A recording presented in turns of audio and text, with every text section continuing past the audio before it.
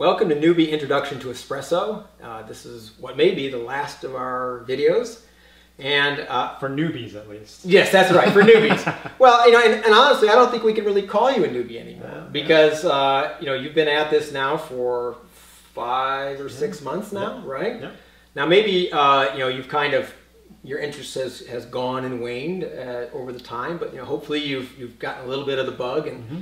absolutely and, and, you'll stick with it. Absolutely. And one thing you right now you've been using borrowed equipment, but you know you might be thinking about a purchase. And so I wanted to do a video segment dedicated to buying advice. And the first bit of advice that I want to offer is is you should really need to think about and it seems funny coming from a guy who runs an espresso website is, is that you know is this really something you want to do mm.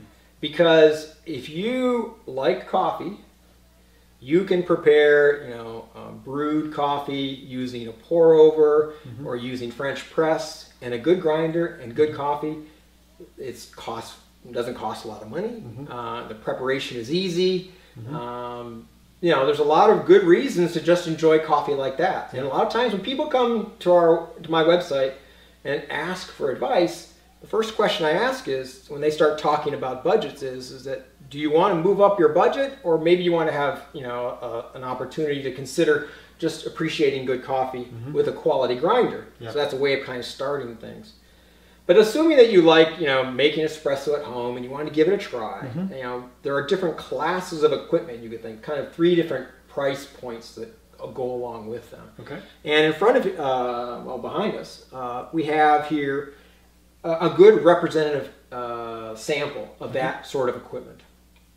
So um, to make it a little bit easier to talk about, uh, I arranged them into really three different classes. Okay. This is an entry level machine kind of like a uh, prosumer machine. These two are really kind of uh, very similar in many regards. There's differences in capacity and such, so I consider this a semi-commercial one, so we'll kind of lump those two together. And then uh, the last is truly commercial, which you know is out of frame. Is that's where you have like you know your La Marzocco, uh, GS3s, you know these double boiler espresso machines that are really designed for large crowds, okay. Uh, commercial. So the three groups we talked about were entry, prosumer slash uh, semi-commercial, and commercial. Okay. The big distinction between those first two classes is also what separates them in price. So here we have a, a Gaggia New Baby. And this is a typical entry-level machine. and It rolls for about $300 or so. Mm -hmm. And its main difference between this and the next class up, as far as its capacity or its capability, is that it can only brew or steam one or the other, but not both at the same time. Okay. So when you go to prepare a cappuccino, you have to first brew the espresso, mm -hmm. press a button that brings it up to steam temperature, mm -hmm. and then froth the milk and deliver. Okay. You can see that for, for one person, you know, that's a nice way of getting mm -hmm. started. Mm -hmm. uh, it doesn't work well when you start serving, you know, two, three, four people because you can imagine how the going back and forth, you know, gets out of control yeah. uh, pretty quickly. It's that sort of, you know, as people rise in their interest in that, that's what often drives them to the next step up, which is what I've been calling the prosumer semi-commercial range. Yep. These this level of espresso machine, this is a Breville dual boiler, mm -hmm. and this is the Izzo Alex Duetto, another dual boiler. And as the name implies, a dual boiler means it has one boiler dedicated to um, brewing, mm -hmm. another one dedicated to steaming. Mm -hmm. So that way you can switch back and forth. Okay. But you know, keep in mind, even though there's two boilers and all that, they're still quite small you know, compared to a commercial espresso mm-hmm. machine. Now, when you say switch back and forth, you can do it at the same time. Correct. Okay. Right. So you know you can you, you can, switch back and forth on that one. You just can't do them simultaneously. Correct. Okay. So you know normally like if I was making a cappuccino, I would first brew the espresso and then yep. make the, prepare yep. them.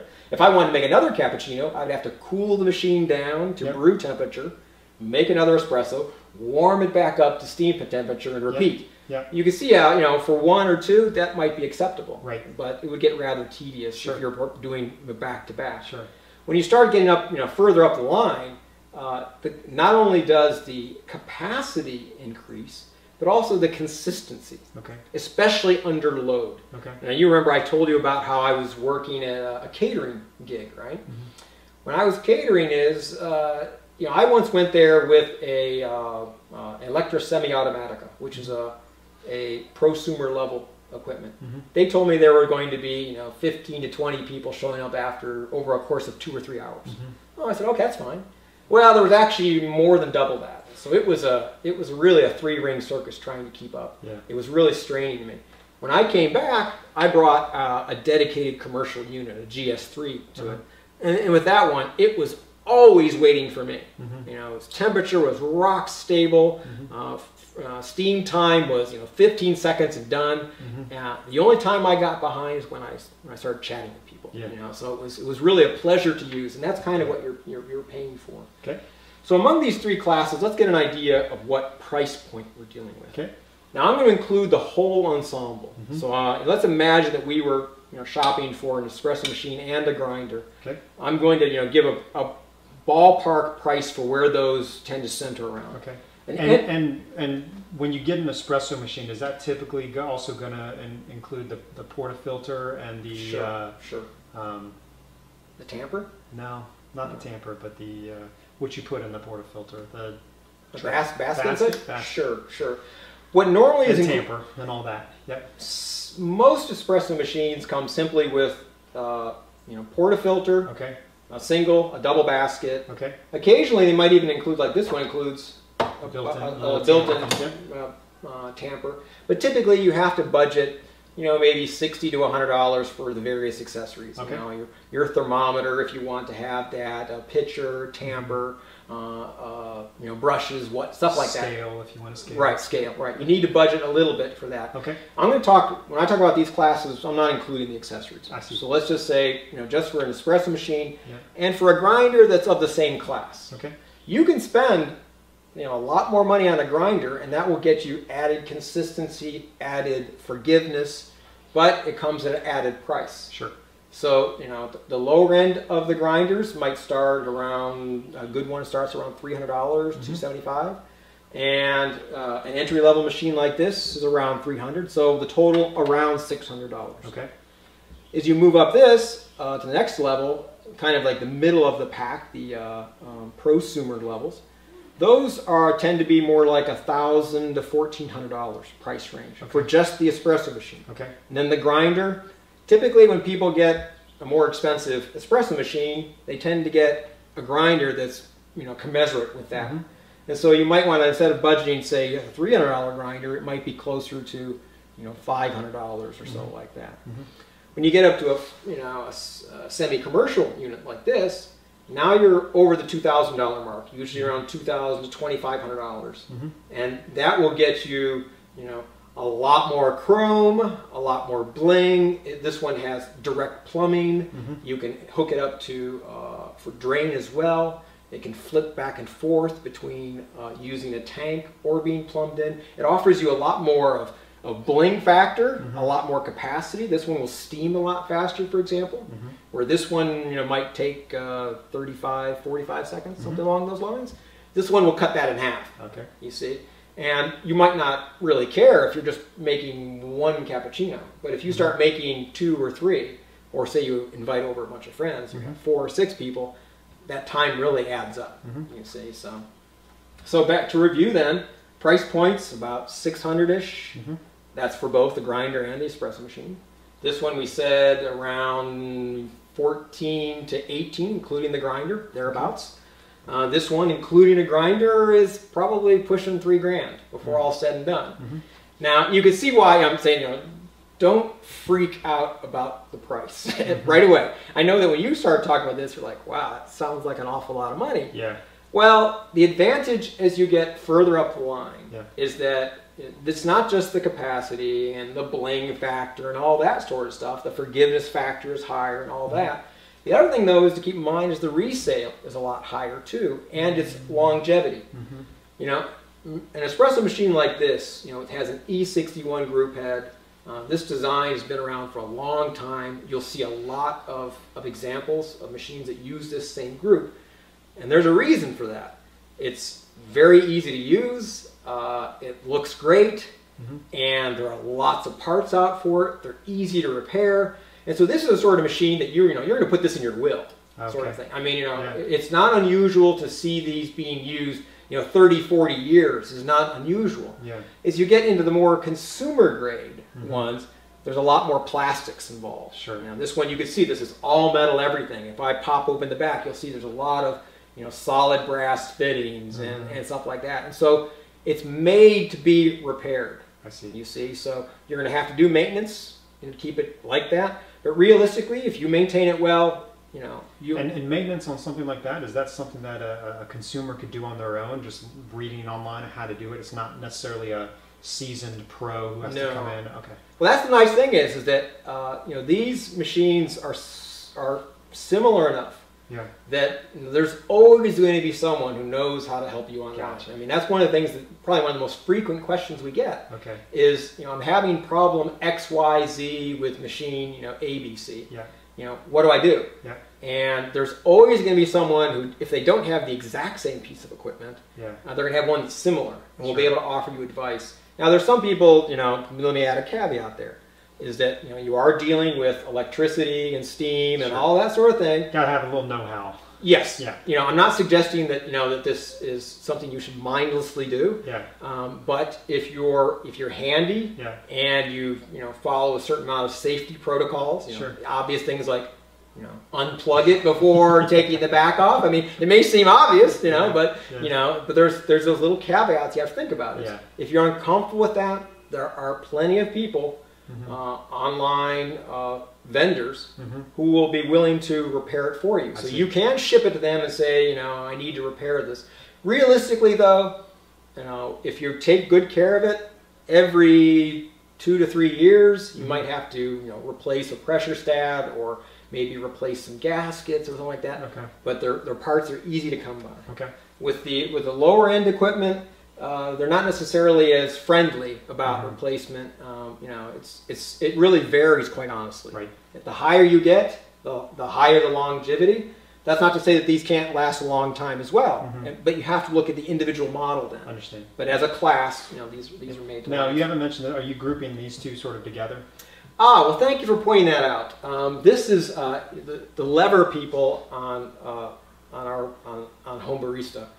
You know, they're a they're a very passionate crowd, and so you know to avoid pitchforks uh, showing up at my front doorstep, I had to include a lever machine. Okay. And uh, a lever machine, you know, price point wise, uh, they could be, they kind of fit in the same class expense wise as the uh, prosumer. Okay. You know, they're kind of, they vary from 800 to $1,200 sort of price range.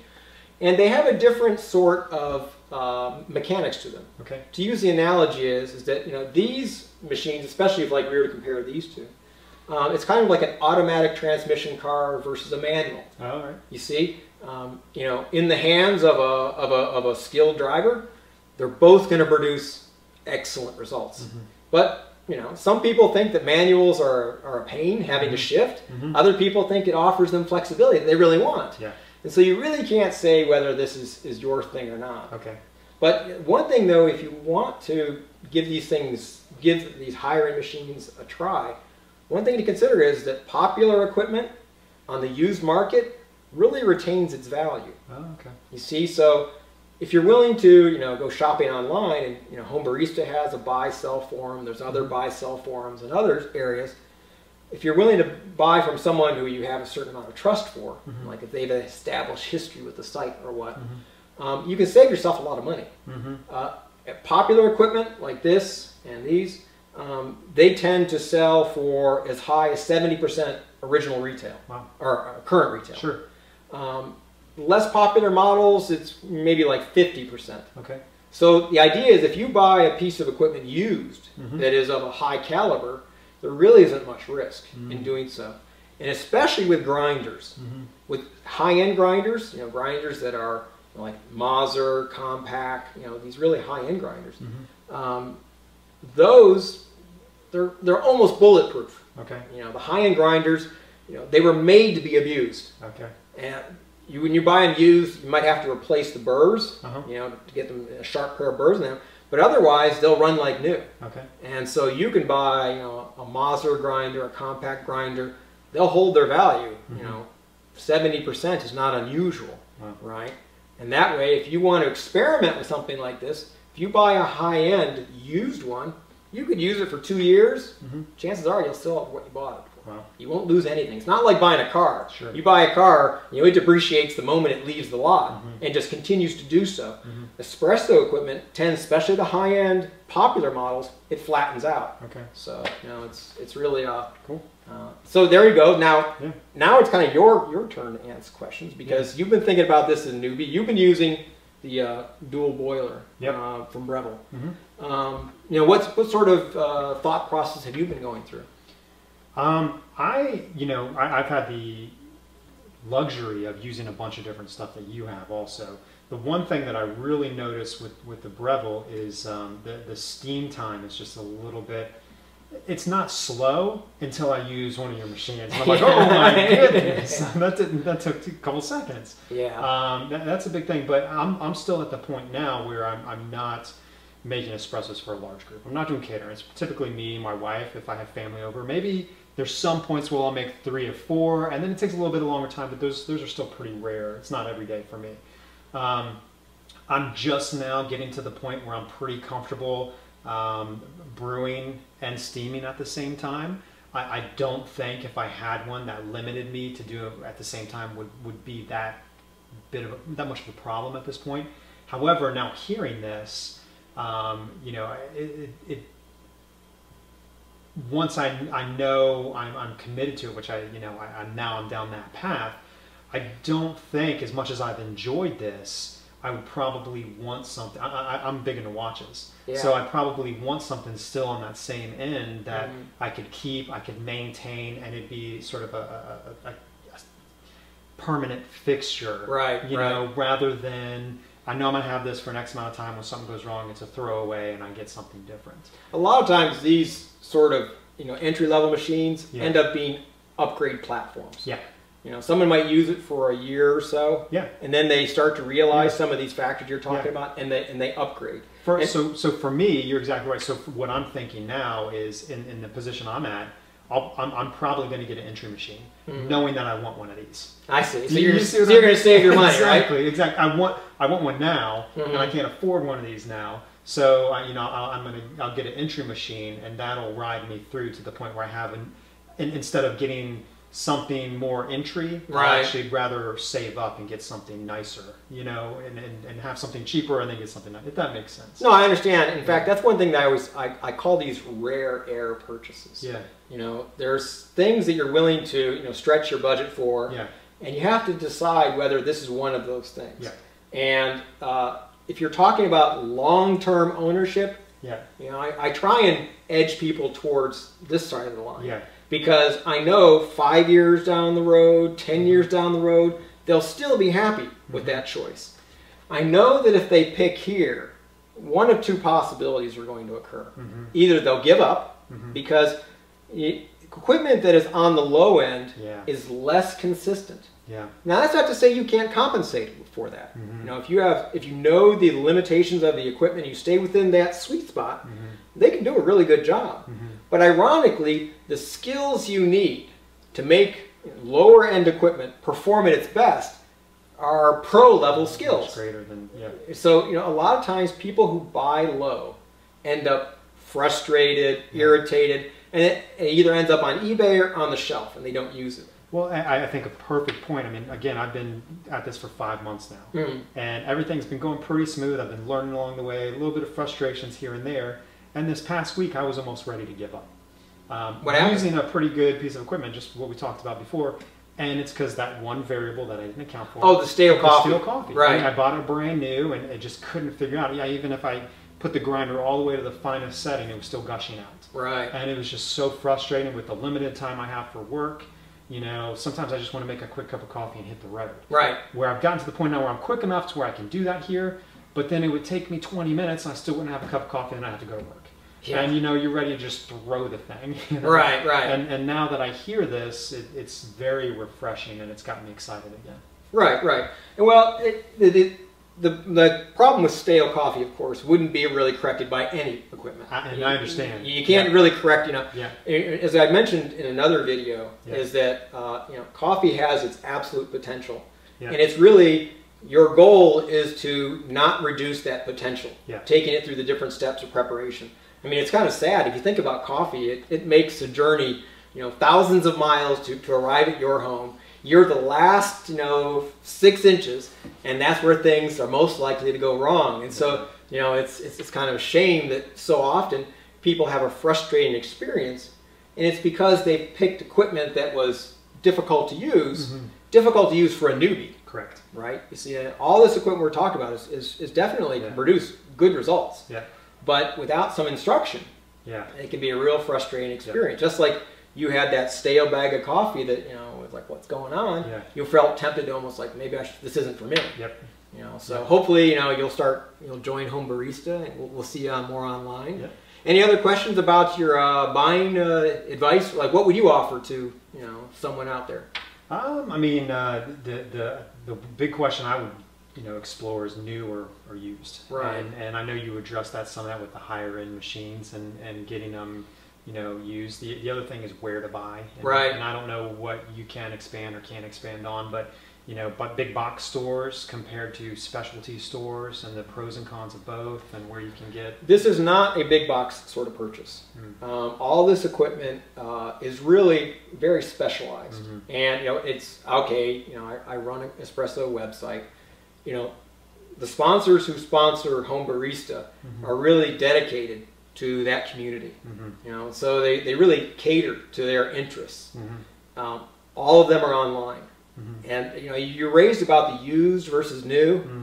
One thing that might sway you towards new Mhm. is that when you buy an espresso machine, you're buying just not a piece of equipment, you're Mhm. also buying the support that comes with it. Mm. You see? Yeah, and that's So- big. It is, especially in those early days, Yep. right? Um, you know, all the uh, sponsors that I've worked with, you know, they understand that you know when you're buying a you know two thousand dollar unit and a thousand dollar grinder, that's a that's a rather large expenditure. Mhm. And so, you know, if you need help being walked through, you know, getting it set up, something like that, they're going to provide that help. If you walk into a big box store and you buy, you know, some entry level espresso machine and some entry level grinder, you know, they're, they're not going to be able to offer you any And, suggestions. and I think just that, I mean, the, the more I think about it, um, that peace of mind, because Right. the, the biggest concern that I have as a consumer without a resource like you is I make this huge investment and I just can't figure it out. And it's just a waste of money, and then I have to deal with trying to resell it and all that stuff like that. right, right. Whereas, you know, obviously I'm, I'm in the, the high end machinery business as well. That that level of service and that peace of mind that I could get if I was buying something, knowing that I can go back to them and say, hey, this isn't working, I'm having trouble here. And I'm, from what you're saying, most of those specialty places will help you through the actual ownership of the, the Not only that is they'll help you with the selection. I, I, I forgot to mention this is Yeah. that I think practically everyone I can think of owns a 30 day has a 30 day remorse policy. oh wow, So that means now, of course, they want to help you make the right selection absolutely, yeah. because they don't want to see that machine come back. yeah, And so they're going to spend the time to make sure that you get the right choice Yeah. for your needs. yeah, But if for some reason that doesn't work out, Mhm. You know, they will take back. So you've got 30 days to give that a try. Now, Yeah. I've talked to some sponsors. They say, you know, we spend the time up front yeah, to make sure they get the right thing, and it's rare that we get a return. yeah. It just doesn't happen. So that's why making that sort of offer, it sounds, you know, it sounds crazy, but that's what they do. Well, not even just the return, but just you know, after the first, you know, there's so much to learn and so much to know if, if you're newer into this. You know, the, having a resource that you could call in month two or month three or month six, saying, "Hey, I'm struggling here. Could you give me some advice?" That alone is worth an extra thousand dollars to me. But one thing that's kind of nice is with the explosion of the internet too, yeah, is The that there. there are yeah. there are a lot of resources, and, and in fact, there's some people who will, you know, they'll post on it's a weekend, right, Yeah. and the vendor's closed, Yeah. so they'll post their question on a Saturday because they know they're not going to be open till Monday.